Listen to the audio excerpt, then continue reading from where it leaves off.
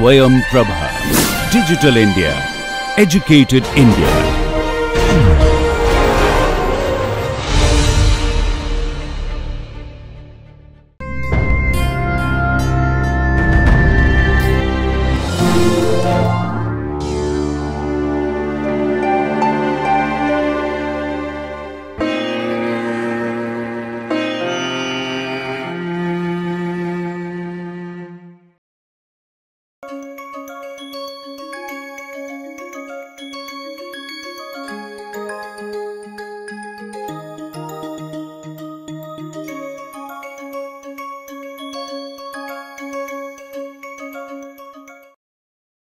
Morning and welcome back to NPTEL lecture series on classics in total synthesis.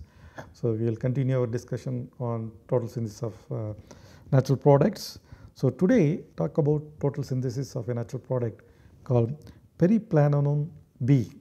So, this is a very interesting natural product actually it was isolated from American cockroaches okay it is a sex pheromone um, and why this particular compound was important?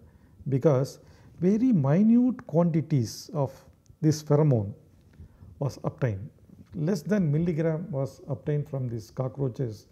And it took about 25 years it took about 25 years to report the isolation of two pheromones periplanones and periplanones A and B and if you look at their structures okay so first periplanone A it's it's little bit complex okay. So it has two epoxides two double bonds one carbonyl group and one isopropyl group okay.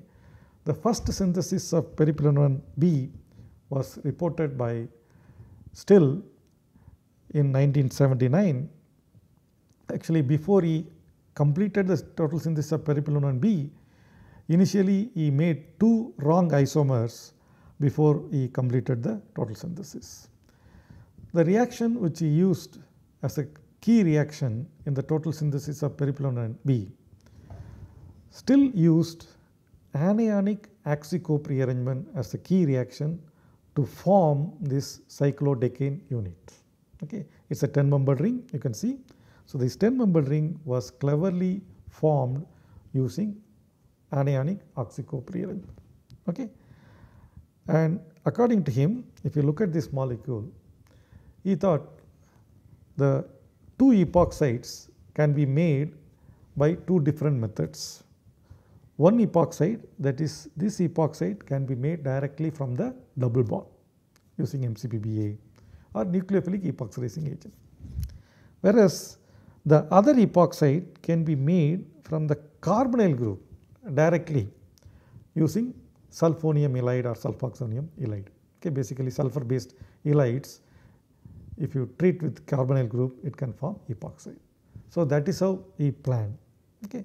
And this if you look at this, this particular cyclodecanone his idea was it can be made using anionic rearrangement. So, this is the key reaction, this is the key reaction anionic oxycope rearrangement followed by when you do the anionic oxycope rearrangement what will happen?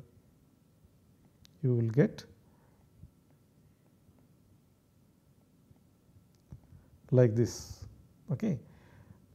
That enolate again if you add MCPBA then you will get corresponding alpha hydroxy ketone.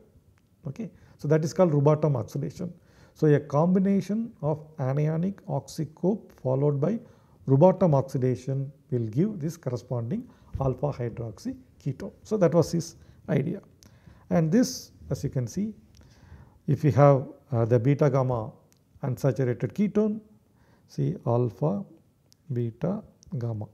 So, beta gamma unsaturated ketone then simply you can add vinyl lithium or vinyl magnesium bromide you will get this intermediate or precursor required for anionic oxycope rearrangement and that can be obtained from this cyclohexene which is commercially available or well known in the literature.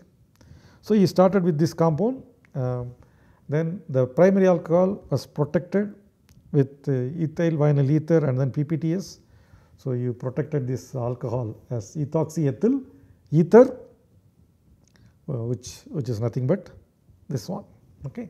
So, normally primary alcohols are protected as TBD, PS, TB, TMS and also people olden days they used to pro uh, protect it as THP ether. Okay. They treat with dihydropyran. Okay.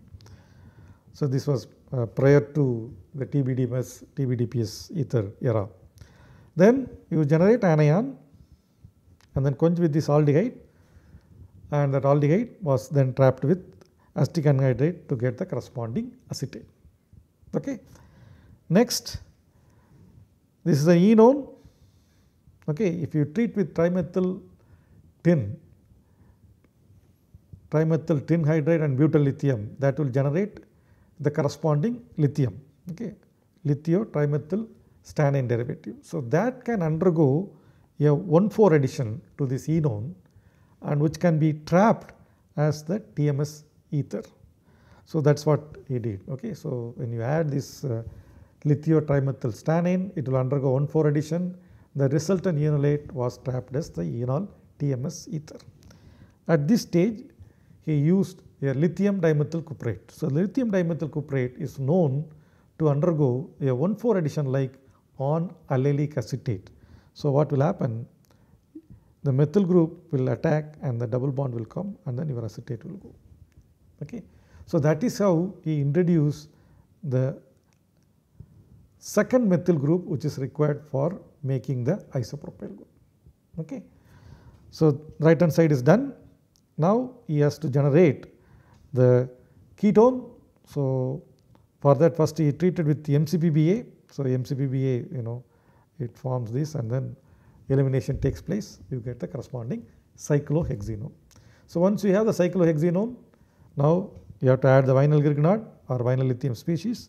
So, addition of vinyl lithium gave, gave the precursor for anionic oxycope rearrangement. Okay, as you can see 3 3 nicely located to get the corresponding anionic oxycopre. So, this was treated with potassium hydride in, in the presence of 18 crown 6. So, it underwent the anionic oxycope rearrangement and if you quench with TMS chloride, you get the corresponding enol TMS ether. Then you add MCPBA. Okay. That MCPBA, uh, as I said, it is nothing but it will undergo Rubottom oxidation to introduce a hydroxyl group next to the carbonyl. So, that is how he could introduce the hydroxyl group next to the carbonyl. Okay. So, he thought he is very close. What needs to be done? You have to make epoxide here and then sulfonium halide will make epoxide here and basically he also has to eliminate this to introduce the exocyclic double bond. So, he protected the secondary alcohol as uh, TBS ether.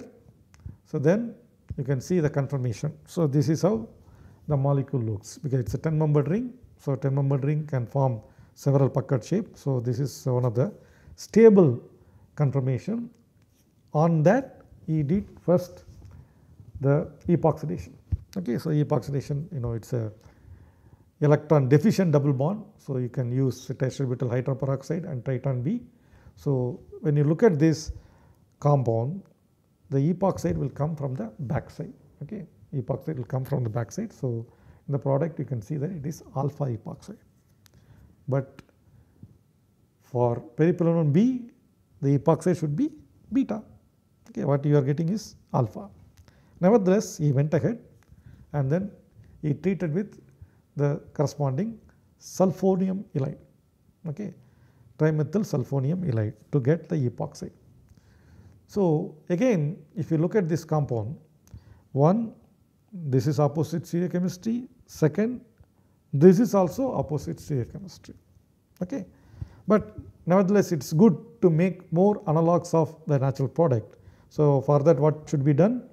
You have to introduce the exocyclic double bond. Okay. So, you remove the ethoxy ethyl protecting group with acetic acid water. So, you get the primary alcohol and that primary alcohol if you treat with orthonitrile phenyl selenocyanide. So, you get this particular intermediate it is well known this upon treatment with hydrogen peroxide or MCPBA it will form the corresponding selene oxide as well as later it will undergo elimination to introduce the double bond.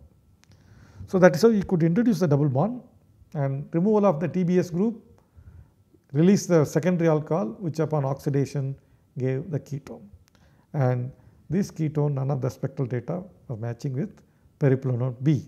So, that is obviously because of these two epoxides are opposite to the natural periplanone B.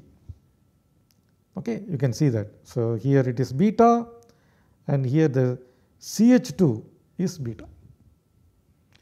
So, he went back, okay, he still did not know whether the epoxide here is the correct one or not. So, he thought he can work around and then get epoxide arising from the ketone. So, first he did the Peterson olefination, introduced the double bond, then on that he wanted to selectively do the epoxidation. So, for that it is better to remove the TBS group, so that you will have allylic alcohol which can direct the epoxidation. Okay. So, he removed the TBS group then treated with uh, vanadium macac and then tetrabutyl hydroperoxide. So, now you could get this CH2 is beta. Okay.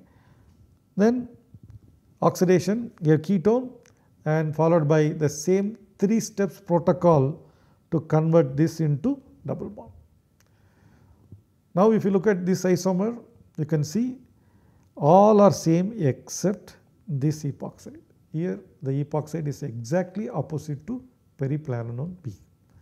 So, again he has to go back. So, at this point what he thought was he will protect this hydroxyl now as TBS ether and at this stage that is the ethoxy vinyl group he wanted to remove and then convert that into exocyclic double bond first. So, he did that. Now, you can see you have everything except that these two epoxides. Okay. So, he took this compound and the low energy conformation if you look at, so there are two conformations you can write and this can flip to this conformation and now if you look at this is the low energy conformation and if one has to do epoxidation of this double bond that will become beta. Okay. So, at this stage he did the um, epoxidation of the alpha beta unsaturated ketone selectively. So, he got the beta epoxide as a major isomer. Okay. He could separate and then on that he did the sulfonium ylide treatment to get the epoxide here. Now, the left hand side epoxide also beta and the right hand side also that is the middle carbon also he got epoxide where the oxygen is alpha. Okay. Then remove the protecting group with the TBAF. So, TBS was removed and then oxidation with chromium trioxide pyridine that is Collins reagent you could get periplanone B. So, before he made periplanone B he made two isomers. In one isomer both the stereo centers of epoxides were opposite and the second one, one was correct, the other one was not. Okay. So, overall if you look at this synthesis of periplanone B, that was the first total synthesis reported by Clark Still, he used anionic oxycope rearrangement followed by Rubottom oxidation as the key reaction to introduce alpha hydroxy ketone and overall he took about 15 steps and the yield the combined yield is about uh, 9 percent uh, which is uh, really remarkable considering these uh, dense functional groups present in the natural product. The second total synthesis of periplanone B uh, which we will discuss was reported by Stuart Schreiber's group in 1984. He also used anionic oxycope rearrangement, but on a different substrate. Okay. He used anionic oxycope rearrangement followed by the electrocyclic ring opening as key reaction to introduce the diene present in this molecule. Okay. Let us see how he has done. So, his idea was okay, both the epoxides can be introduced uh, starting from this ketone and if you look at this, this diene he wanted to use electrocyclic ring opening to get the diene. Okay. So, electrocyclic ring opening of the cyclobutene will give this diene and that can be obtained by a anionic rearrangement. So, so you can see both groups used anionic rearrangement, but both are using on different substrates. So, that is how in synthesis when you want to work on total synthesis of one molecule the same reaction can be used on different substrates and essentially they can make the same natural product. Okay. So, that type of flexibility and creativity can be seen in many total synthesis and this can be obtained from uh, this bicyclic ketone and this bicyclic ketone can be obtained from this natural product which is commercially available uh, with allene through a 2 plus 2 cycloaddition reaction. Okay. Let us see how he has done. First it was a 2 plus 2 cycloaddition between the cyclohexenone and allene. So, he got a mixture of 2 is to 1 and of course, uh, the major isomer is the required one. He took that compound and then treated it with vinyl magnesium bromide. So, the vinyl magnesium bromide gave the alcohol, the allylic alcohol. So, this upon treatment with potassium hydride and 18 crown 6, it underwent the anionic oxycope rearrangement. As you see, you can write like this. So, now you have the 10 membered ring also the 10 membered ring is fused with a 4 membered ring. Okay. And this 4 membered ring that is cyclobutene if you heat it it forms the diene but unfortunately this is a cis double bond. Okay. When you do this ring opening reaction what he got was exocyclic double bond and the internal double bond was cis. But in the natural product the internal double bond was trans. Of course, cis trans isomerization can be easily done under photochemical condition. So, he tried the photochemical condition. So, he could easily isomerize the cis double bond to trans. So, now one epoxidation, another epoxidation and you have to introduce a ketone. So, these are three things left. So, first he introduced an SPH group at the alpha position and then oxidize with sodium periodate to get the introduce the double bond okay sulfoxide and then sulfoxide was eliminated to get the double bond okay. So, once you have the double bond you make the epoxide. So, it is uh, alpha beta unsaturated ketone electron deficient. So, you have to use nucleophilic epoxidizing agent. So, potassium hydride and the tertiary butyl hydroperoxide gave the beta epoxide. So, that is a major isomer. Now, he introduced the double bond on the other side. So, that is uh, this side again using lithium hexamethyl disilazide followed by quenching with phenylselenide bromide and instead of introducing the double bond okay here here what you need is you need to introduce a hydroxyl group isn't it first you need to introduce a hydroxyl group. So, what he did he used a seleno-Pummerer rearrangement to introduce a hydroxyl group. So, for that first he introduced uh, a phenylseleno group by treating with lithium hexamethyl disilazide and phenylselenyl bromide.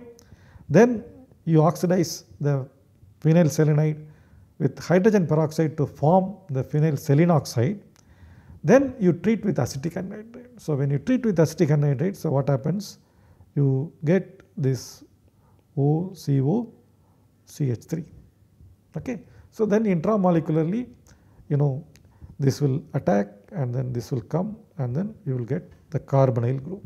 So, you get 1 2 diketone. Okay. So, this is seleno-Pummerer rearrangement. Now, you have two ketones and selectively the trimethyl sulfonium ylide added to this ketone not only regio it is stereoselective to get 62 percent yield of the required natural product periplanolone B. So, it is one of the shortest synthesis of periplanolone B which involved again an interesting anionic oxycope rearrangement. So, this is the mechanism of uh, seleno-Pummerer rearrangement and also 2 plus 2 cycloaddition to get the precursor for uh, the anionic oxycope rearrangement. Then he also used uh, electrocyclic ring opening of cyclobutene and then seleno-Pummerer rearrangement to introduce a ketone next to the ketone and a highly stereo and regioselective epoxidation of ketone using trimethyl sulfonium halide. Overall, it took about 13 steps and the yield was uh, close to 2 percent. Okay, so with this I will stop here and then we will talk about more natural products in the next week. Okay, thank you.